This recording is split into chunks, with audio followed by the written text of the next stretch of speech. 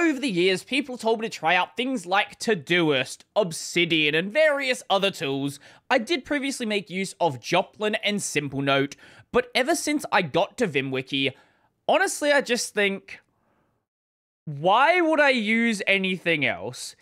Everything just kind of works in VimWiki. Yes, it's not going to have the craziest feature set. It's not going to have all of these amazing scheduling tools. But I'm in VimWiki and it does 99% of what I want. And I could learn some other tool. I could learn some really complex application. But how much is it going to improve my life? And is that improvement worth spending all this time learning some new tool? And then what happens if that tool stops being developed? What do I do then? And I'm glad that somebody else feels the same way because it means I can feel vindicated. I tried every to do app and ended up with a .txt file. So this person has gone even further than I did. VimWiki is basically a TXT file with some formatting and links. So it's effectively the same thing. It's just a plain text file. I've tried them all. Notion, Todoist, Things 3, OmniFocus, Asana, Trello, AnyDo, Tick Tick. I don't even know what some of these ones are. I even built my own to-do app once. Spoiler, I never finished it. There are many projects there are so many projects that I've done the exact same thing with. After years of productivity app hopping, I'm back to where I started a plain text file called to do.txt. Spending time trying to improve your productivity instead of being productive. It's the same thing with these self help books where you will read book after book after book after book. Speaking from self experience but never actually try to implement anything you read in the books. You feel like you're doing something productive, you feel like you're doing something useful, but all you are doing is just getting knowledge. But not applying any of it. And all you're doing with these productivity tools is trying different tools, but getting back to the same baseline. And there's nothing wrong with trying to find a tool that does a better job. But at the same time, if you have a method that works, even if no one else can use it, even if it's not the hip, cool new thing that everybody is using, really, all you need is something that achieves your goal. If a TXT file works, if a Vim wiki works, if org mode works, there is nothing wrong with that. My productivity journey started like everyone else's. I devour blog posts about getting things done, or spot a cool app and think, this is it. This will finally organize me. I'd burn hours building the perfect system, creating categories, tags, projects, labels, setting it up felt like real work. And that's the problem, right? Configuring it, learning how to use it, it feels like you're doing something productive because you're learning a new thing.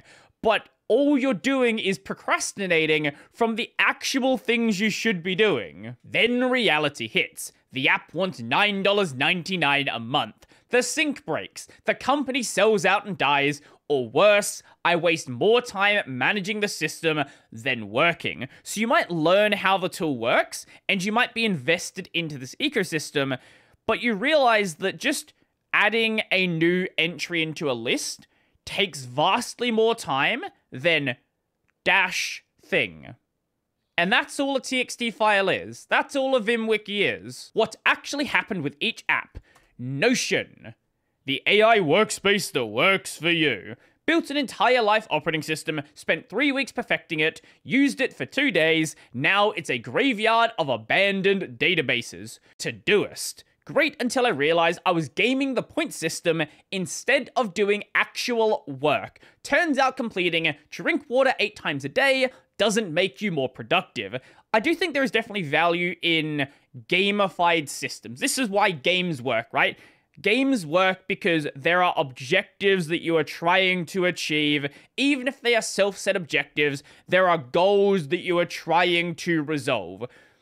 The problem is if you start trying to game the point system instead of actually doing things useful with it, now you are just wasting time. Great example is a lot of these tools that count how many commits you make and then use that as some form of program productivity. It can lead you into making smaller and smaller commits and not doing anywhere near as much actual work. Or, or if you work for a big company that has some sort of metric system for how well you are working. It can be very easy, and a lot of people do this, where they game the metric system instead of trying to do the work. I remember back when I was working at McDonald's, they had something exactly like this where they would keep track of how much time an order appeared on your screen for, and you wanted it under some certain amount of time. So, what people did is they just got really good memories, or they would cancel off the screen immediately and then use the button on the side to bring the order back because that didn't increase the timer. So there will always be ways to game it, and point systems need to be done with care, and you need to pay attention to how you're actually using it. Things 3. This is an iOS app. Beautiful. Expensive. It is $10. Tricked me into thinking I had my life together, but I kept forgetting to check it. I know that feeling all too well.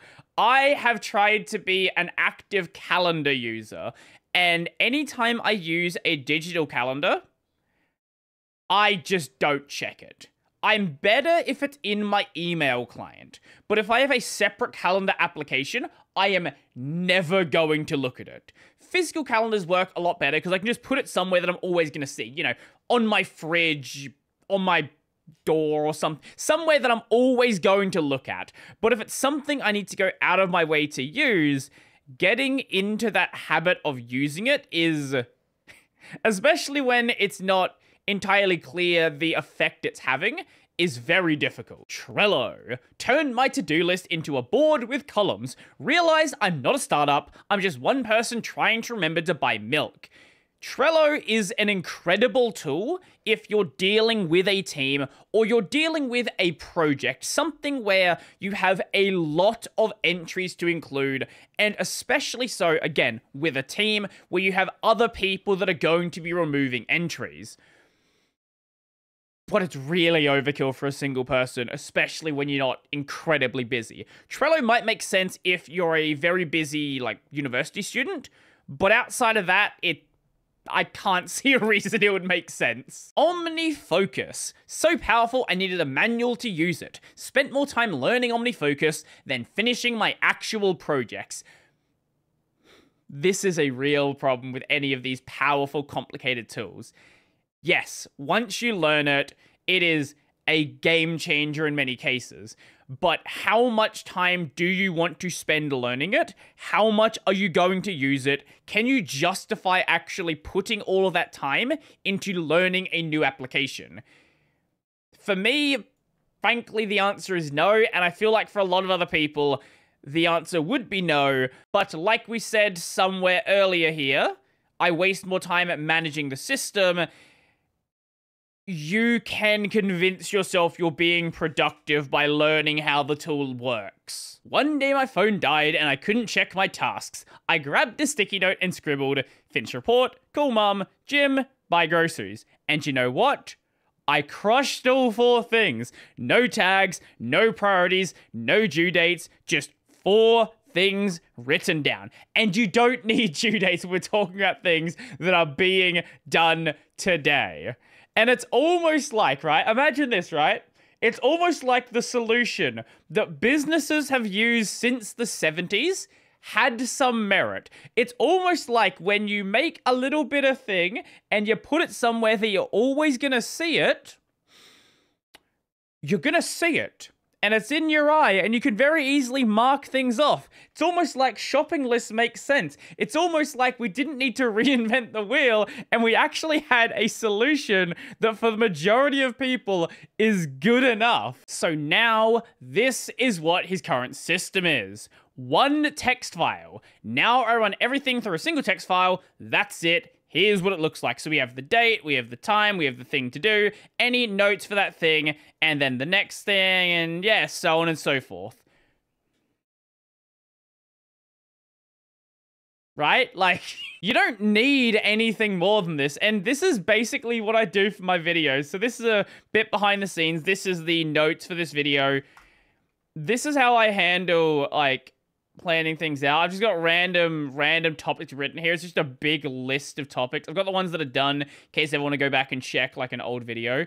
But like if I want to just make a new video, I just I just go in here and I start like writing stuff. And is this the neatest system you're ever gonna see? No.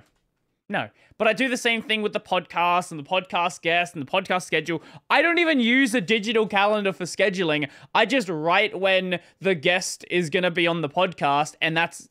that, that works well enough for me. And that might sound simple and boring, but frankly, that's what I want from a note system, from a scheduling system.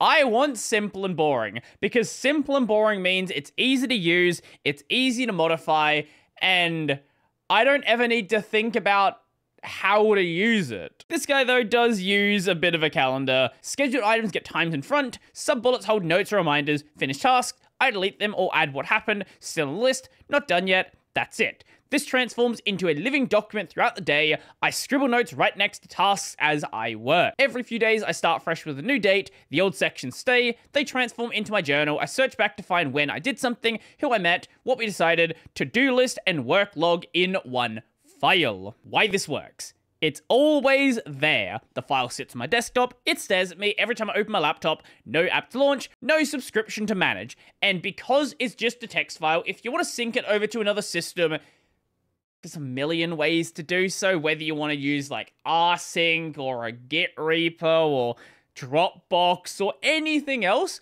There are so many ways that you can do this. It's a file. It's instant. My keyboard shortcut launches my to-do.txt in a floating window. Doesn't matter what I'm doing, my to-dos are one key press away. No switching between apps, no waiting for things to load, just boom, there's a list. And whilst I am using VimWiki, it's it's NeoVim in a terminal. Like a, a, terminal opens like straight away, right? Like and opening opening NVim automatically is another thing that I just have on a key press. So I can just press a thing and it just like it just it just opens it. It's there in under a second. No complex electron application to do so. It just works. And if you're so inclined to make use of AI, you're not locked into using any tool. If you want to make use of Claude one day and ChatGPT another one and something else another day, it's a text file. All you do is just go and get the text generated in the thing, and then bring it in. And there are even plugins for most text editors nowadays that have integration with these various tools, but you're not locked into any of them. It's not going to tell you, this is the only one we support in our to-do app. You can do whatever you want because it's a text file. It's fast. Adding a task burns two seconds, no clicking through menus or selecting projects. Let's say I want to add a new line into my VimWiki all I can do, we have a new line. That's all we need. And if I don't want to do like a, a double line there, it'll even go and automatically add the line starter for me. I don't have to think about it whatsoever. It's searchable, and in my case, I'm using NeoVim. I'm using VimWiki on NeoVim. So I have all of the power of NeoVim at my fingertips. I can do whatever I want. I'm not relying on weird Vim emulation that might break or might be removed. It's just there. Everything NeoVim can do, I can do in the VimWiki. It's mine. No company can kill it, no updates can destroy it, no algorithm decides what I should see. And if for some reason VimWiki stops working in a newer version of NeoVim, well, I can just compile an old version of NeoVim. It's not really that big of a deal. But even if I don't want to use NeoVim, all of the VimWiki files are literally just plain text files. If I want to open them up in Emacs or open them up in Notepad, I won't have the same sort of colored formatting, but the file will be exactly the same. It's honest. I can't hide behind fancy features. Either I did the thing or I didn't. There is no fancy point system where you can convince yourself that you're doing something productive. Nope, not a thing. And it lasts forever. A text file is the most basic thing a computer can read. It'll work after every software update. Uh, it may break some point in the future that you can have encoding changes. Every company shuts down, every app that stops working, text files from 20 years ago still open perfectly. Try that with your Notion workspace. Productivity isn't about finding that perfect app. It's about dumping things onto paper so your brain can forget them, checking the list regularly, and executing the task, doing the thing. Everything else is procrastination dressed up as organization.